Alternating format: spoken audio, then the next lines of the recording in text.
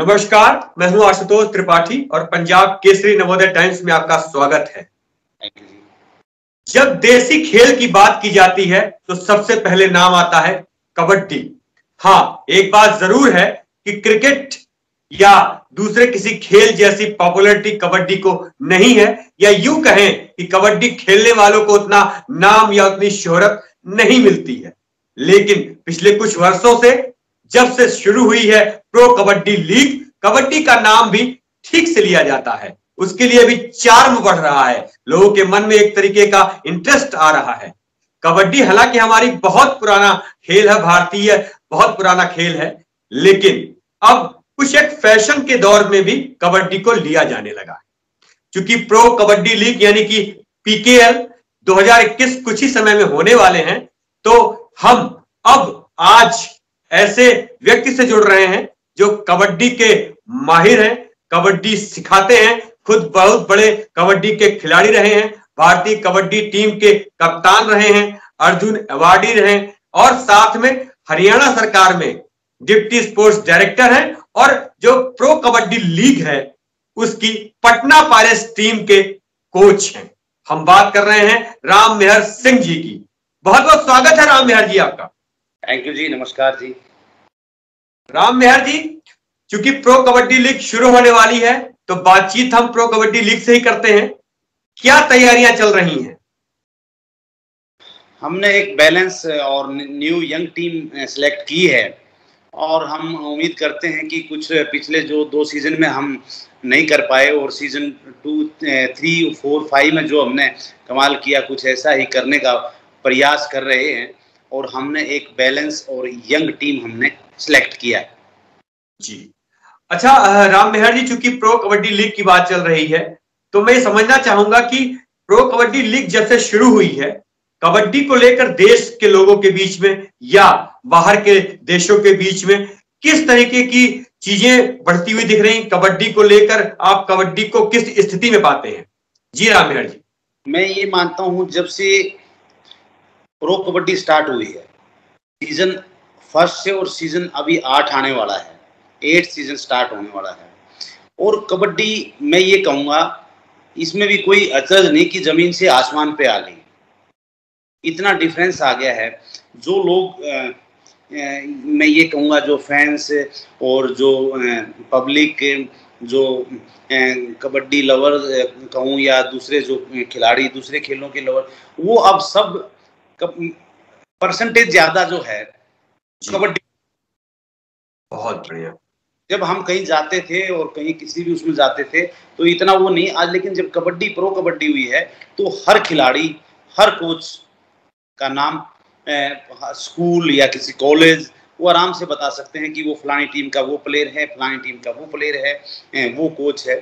तो कबड्डी मैं ये कहूँगा कि कबड्डी ने बहुत सफ़र तय किया है और मुझे लगता है कि और कबड्डी आगे आएगी। ऐसा मुझे लग रहा है।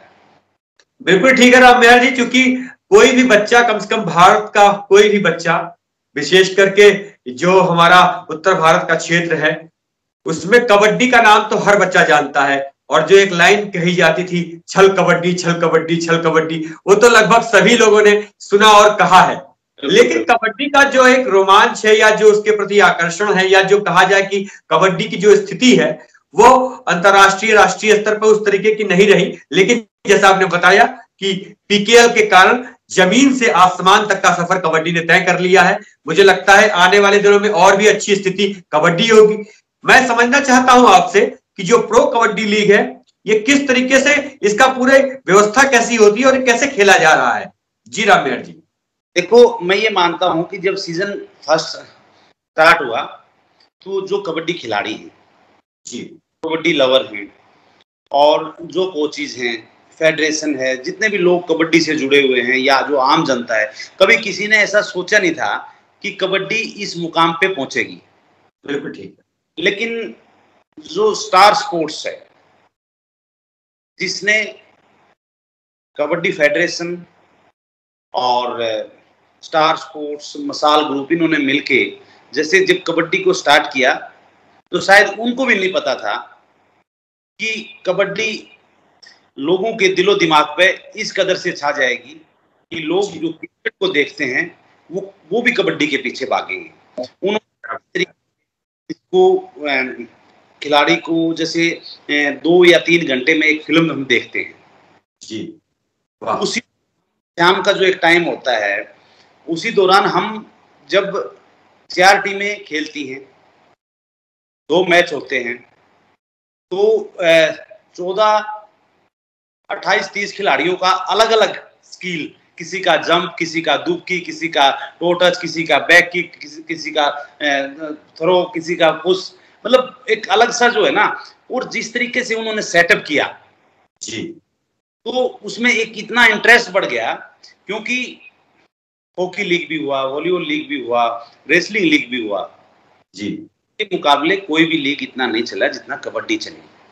वेरी गुड तो इसका सबसे ज़्यादा श्रेय स्टार स्पोर्ट्स को देता हूँ। क्योंकि उन्होंने इस तरीके से इसको डेवलप किया इस तरीके से स्टार्ट किया लोगों के दिलो दिमाग में बैठाया कि खिलाड़ी भी और पब्लिक भी कबड्डी के पीछे भागने लगी। ये उनको जाता है। हमने भी कबड्डी उस लेवल पे खेली। हम देश के लिए खेले प्रदेश के लिए खेले एशियन गेम खेले हम इंडियन टीम के कैप्टन रहे। जब हम इंडियन टीम के कैप्टन हमने भी नहीं सोचा था कि कबड्डी उस लेवल पर जाएगी। कबड्डी। क्या बात राम मेहर जी चूँकि कबड्डी अपने आप में काफ़ी लोकप्रिय है स्कूल के स्तर पे बहुत खेली जाती है गाँव में खूब खेली जाती है और कबड्डी कहीं ना कहीं लोकप्रिय खेल तो रहा ही है भारतीय मूल का। आपसे मैं जानना चाहूँगा कि क्या पिछले वर्षों के मुकाबले और आज के मुकाबले क्या लगता है आपको कबड्डी में कितना परिवर्तन आया है? मैं ये कहूँगा परिवर्तन तो बहुत ये कहेंगे कि 90 और 10 का डिफरेंस भी हो। इतना भी सबसे बड़ा तो यही था कि पहले मिट्टी पे खेली जाती थी। और उसके बाद 2002 एशियन गेम जब हुए जब फ़र्स्ट टाइम दूसरे कंट्रियों में भी वो मैट पे स्टार्ट हुई।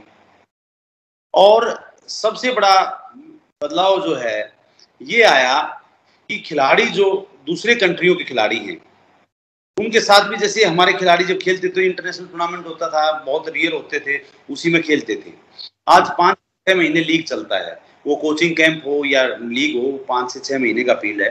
तो उसमें सभी कंट्रियों के जो बड़े बड़े खिलाड़ी हैं जो ईरान है कोरिया है बांग्लादेश है पाकिस्तान जापान जो भी खिलाड़ी मलेशिया वो सभी साथ में रहते हैं। तो हमारे खिलाड़ियों की स्किल भी उन्होंने पकड़ी। इससे मैं एक मायने में ये कहूँगा कि इंडिया को नुकसान भी हुआ क्योंकि हमारे जो स्किल थी हमारी वो थी तो उन्होंने वो चुराई भी। लेकिन कबड्डी कबड्डी बड़ा हुआ। बिल्कुल सही। कबड्डी बड़ा हुआ और क्योंकि कबड्डी इसलिए भी एक महत्वपूर्ण खेल बन गया। ये शायद बहुत जो विद्वान हैं और जो कबड्डी से जुड़े हुए लोग हैं वो जानते हैं कि जब 1990 सन 1990 का एशियन गेम हुआ। जी। वो एक यादगार लंबा जीवन भर जब तक हम रहेंगे वो दोहराते रहेंगे क्योंकि 1990 एशियन गेम में आज तो ओलंपिक में भी हमारे इतने मेडल आने लग गए। नहीं तो सन 1990 में सिर्फ़ हिंदुस्तान का एक ही मेडल था। कबड्डी देश के लिए भी देश के लिए भी इसलिए महत्वपूर्ण हो गया कि किसी भी देश में जब एशियन गेम कॉमनवेल्थ या ओलंपिक होता है अगर इंडिया का खिलाड़ी है या बांग्लादेश का खिलाड़ी है या श्रीलंका खिलाड़ी है अगर उस देश की खिलाड़ी अगर वहाँ चैंपियन बनता है गोल्ड मेडल लेता है तो उस देश की धुन तभी बजाई जाती है उस देश का झंडा तभी फहराया जाता है। कबड्डी कैसा है सन 1990 एशियन गेम में पहली बार इंक्लूड हुई और पहली बार ही देश की लाज बचाई। कबड्डी इसलिए महत्वपूर्ण है लोग इसलिए भी कबड्डी को मानते हैं। राम मेहर जी चूँकि इस समय महामारी का दौर चल रहा है और इस महामारी के दौर में कहा जाता है कि दो गज दूरी मास्क है ज़रूरी। तो इस प्रोटोकॉल को कैसे फॉलो करेंगे? कबड्डी लीग के दौरान। देखो अभी इसके लिए भी तैयारियाँ कर रहे हैं। जी। भी कोचिंग कैंप होंगे। सब खिलाड़ी जाएँगे। जी। और जहाँ लीग होगा या जहाँ कोचिंग कैंप लगेंगे तो बायो बबल होगा। बिल्कुल। बायो बबल होगा कि उस उस होटल में कोई जाएगा नहीं कोई आएगा नहीं और जाएँगे तो स्टार्टिंग के सेवन डेज़ क्वारंटाइन होगा फिर उसके बाद कोचिंग कैंप स्टार्ट होंगे फिर जब लीग स्टार्ट होगा तो एक से दो वीक तक पूरे जो बड़े जैसे बड़ा होटल होगा जहाँ सारी टीमें रुकेंगी तो और या दूसरे रहेंगे तो तो भी बायो बबल होगा और कोई उस होटल में जाएगा नहीं कोई स्टाफ भी दूसरा आएगा नहीं। उस तरीके की तैयारियाँ चल रही है वो करेंगे? तो पूरा मतलब रखते हुए। जो कोविड की महामारी है उसका पूरा ख्याल रखा जाएगा। और उसी उनको ध्यान में रखते हुए उसी हिसाब से कोचिंग कैंप होंगे उसी हिसाब की तैयारियाँ होंगी उसी हिसाब से लीग होगा। बिल्कुल ठीक है। क्या तैयारी है आपकी? चूँकि आप कोच है पटना पायरेट्स के। तो पटना पायरेट्स को किस तरीके से तैयार करना है उस बार क्या इरादा है? देखो तैयारी तो जब कोई टीम एक नहीं दो नहीं तीन तीन बार लगातार चैंपियन बनती है तो जो। फैंस होते हैं उनके उसके जो मालिक हैं टीम के जो सीईओ हैं जो भी उससे जो जुड़े होते हैं उनकी एक ही उम्मीद होती है उनका गोल होता है कि चैंपियन बनना। बिल्कुल ठीक है। और जो टीम लास्ट में रहती है तो वो उसका और रहता है कि हम क्वालिफाई करें हम ये करें। जो टीम लगातार तीन बार चैंपियन रह ली तो उसके जो हमारे जो टीम ओनर हैं या जो हमारे फैंस हैं, सभी जो जुड़े हुए हैं तो उनकी भूख जो और प्यास जो है ना, तभी बुझती है जब टीम चैंपियन बनती है। हमारे ऊपर एक दबाव भी है, हमारे ऊपर एक प्रेशर भी है कि हम उस चीज़ पे खरा उतरें। उसी हिसाब से हमने एक टीम तैयार की है।